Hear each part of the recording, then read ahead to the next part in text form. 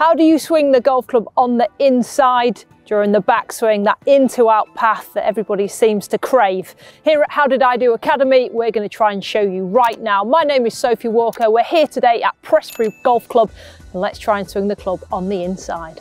First, let's get into the data. It's very hard to swing the club straight, a zero path, straight down the target line. And people say to me, I just want to hit the golf ball straight. That path is incredibly hard to get. So you're either one way or another.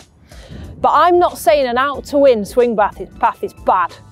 Brooks Koepka, Jon Rahm, many of the top male professional golfers swing it from out to in. And they're pretty good, aren't they? But the in to out path is more there for people that swing too aggressively out to in.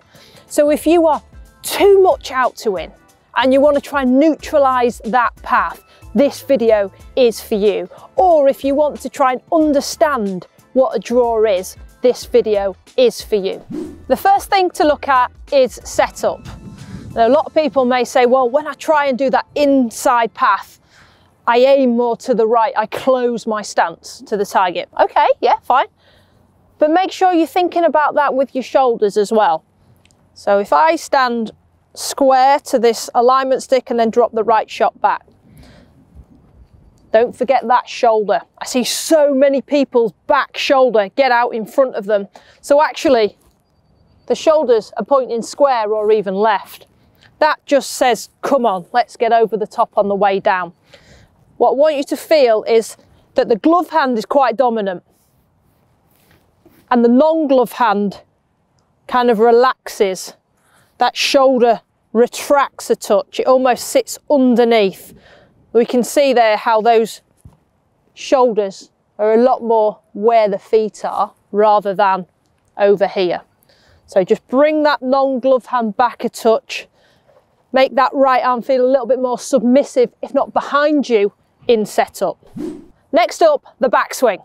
Now, many people that come to golf lessons with me that say I want to swing the club on the inside, do so in the backswing, and that causes them to swing on the outside in the downswing. They get too deep and behind them. They get into that space.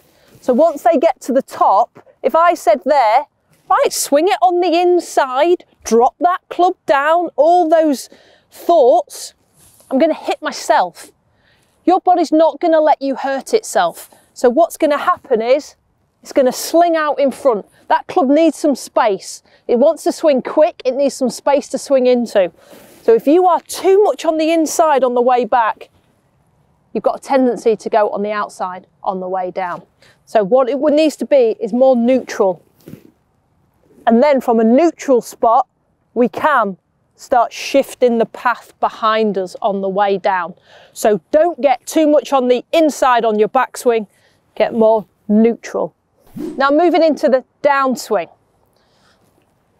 Take the club to the top, and from this motion here, you want to feel that the arms fall in a vertical line. They are not moving horizontally this way. You want to feel that they drop vertically and keep that chest pointing to this camera right now. Imagine there's a camera behind you. So you're going to keep the chest closed while the arms fall. From that point, the arms and the club head is behind the body. The left arm, if you're right-handed, is more across the chest. If the arms come out horizontally, that arm leaves its chest, the club gets out in front. So we want to feel from here, the drop. You could draw a line down that grip, down to the ground. So we're going to feel like we drop it into our back foot, right foot if you're a right hander, while keeping that chest closed. And from there, you're on the inside to work on that follow through. Moving from that club behind you, we are then going to look at the inside of the golf ball, looking at this nearest part to us, the inside of the ball. The club is behind us nicely. When we rotate through, we want to feel like we're coming at it from the inside of this golf ball and pushing out to the right hand side of the target if you're a right hander. So the inside of the ball pushing out to the right. We're creating that in to out path.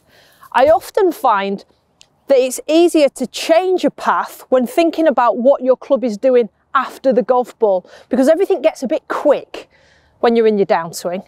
It all goes so fast that if I'm thinking in all of my swing, I need my golf club to move to the right of this alignment stick. In fact, there's a dandelion a couple of feet in front of me. I want that feeling of my club moving to the right of that dandelion after I've hit. That swing direction to the right, it helps the club get in here.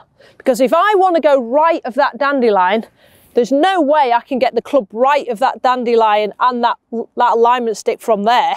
It wants to come in this way. So the only way I can do that is by getting in there and then pushing out to the right hand side. A drill to help you work out that into out path is this one right here. I put an alignment stick down in a cross. So there's no golf ball and I'm going to set up to this cross. I like to think of it like a compass. So I'm going to take the club back east, which is straight across that up there. So remember, we're not going to on the inside on the way back. And then on the way down, I want to try and swing it from southeast to northwest. So I want to be in this play box here and then firing it up through northwest. So along this line, down into this play box here, and then through into the northwest. So forever just rehearsing that drop through, drop through. There's not a golf ball there. You're going to remove these alignment sticks and then you're going to put the golf ball down with those feelings, okay? Can we transfer the feelings, that almost trace that we had, and put that into your golf swing? The next drill is more of an anti over the top drill, more of an anti out to in drill, which will promote into out. So if you're on grass, grab yourself an alignment stick and put it in the ground at this angle. If you're on a driving range, use that stick, put it more horizontal to the ground and put it in a driving range golf ball bucket behind you, somewhere there. The idea of this is to feel that the club swings underneath this alignment stick. So if we were swinging it over the top, we would hit the alignment stick. It'll get impact shallower and more on the inside. So that feeling, take it to the top and then miss the stick, not over the top and hit the stick. I use this technique with a person that I teach in America. Couldn't see them in person, did it online. They were aggressively over the top, very much like this, to the point it was hurting their wrists. They were getting wrist injuries. We worked on this and it was a complete game changer. Her wrists are so much better. Her swing path, it's amazing what it's done for the swing path. So I, this is a huge advocate of trying to get that club less steep, less out to in, more on the inside and more shallow. That was a step-by-step -step guide on how to swing the golf club from in to out and two drills to help you do that. This video should help you hit straighter shots and better contact and that's what we all want really isn't it? It's consistency. So I hope this video has helped you